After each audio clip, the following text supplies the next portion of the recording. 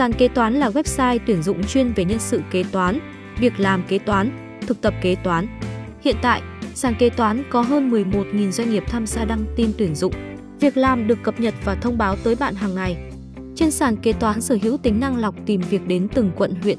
Người tìm việc có thể dễ dàng tìm kiếm việc làm quanh khu vực mình sinh sống.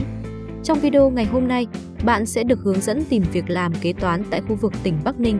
Bắc Ninh là tỉnh có diện tích nhỏ nhất đất nước, với vị trí nằm trong vùng thủ đô Hà Nội, thuộc vùng đồng bằng sông Hồng. Tỉnh cũng nằm trong vùng kinh tế trọng điểm Bắc Bộ, Việt Nam. Năm 2020, Bắc Ninh là đơn vị hành chính Việt Nam đông thứ 22 về số dân số, với 1.419.126 người, xếp thứ 8 về tổng sản phẩm trên địa bàn. Xếp thứ 3 về GRDP bình quân đầu người GRDP đạt 209.227 tỷ đồng, GRDP bình quân đầu người đạt 6.322 đô la Mỹ. Tốc độ tăng trưởng GRDP 2020 đạt 3,31%. Có tổng số 17,814 doanh nghiệp khu vực Bắc Ninh. Do đó nhu cầu tuyển dụng nhân viên kế toán là rất lớn.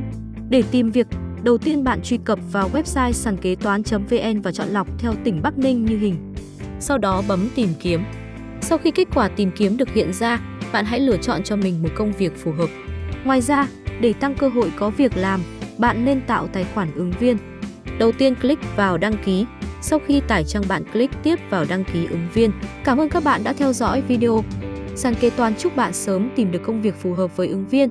Chúc bạn sớm tìm được nhân sự phù hợp với nhà tuyển dụng.